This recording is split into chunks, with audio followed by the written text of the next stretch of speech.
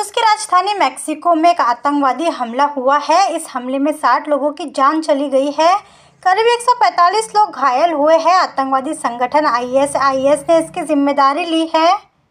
तेईस मार्च को मैक्सिको के पश्चिम छोर पर स्थित कॉकरस सिटी हॉल में रूस के रॉक बैंड पिकनिक का कॉन्सर्ट था।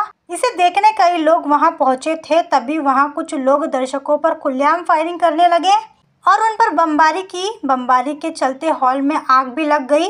कई लोग हॉल के अंदर फंस गए। घटना की जानकारी मिलते ही रूस की स्पेशल फोर्स मौके पर पहुँची और वहाँ मौजूद आतंकवादियों को पकड़ने के लिए ऑपरेशन चलाया। बताया जा रहा है कि आतंकवादी पहले से ही हॉल में छिपे हुए थे। सोशल मीडिया पर घटना की कई सारी वीडियोस वायरल हो रही है।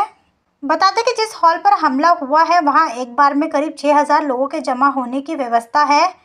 हमले के तुरंत बाद मौके पर सुरक्षा बलों के साथ घायलों की मदद के लिए सत्तर एंबुलेंस भेजी गई।